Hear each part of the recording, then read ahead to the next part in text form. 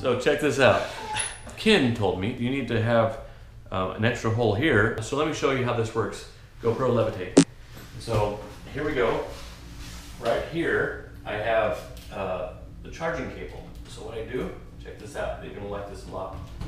So I put an extra hole here. This so, so this runs through it. I put a knot in here. This is how I wanted it. And then you can put your phone in here. you come across a spot where there's no, you don't want to lay your phone on the ground there. Uh, what you do is you put it here, GoPro higher, and so you would put, you just put it in here. Like here, I have a little phone here, a little Apple Watch here. Plug it in. Check that out. Now you just hang it, and it charges, and it's not on the ground. GoPro. So cool. So anyway, uh, that happens every so often. Uh, and if you have an idea for something, a unique way of using something that we have, uh, let me know about it. I would love to love to hear about it because a lot of other people might really love using it that way.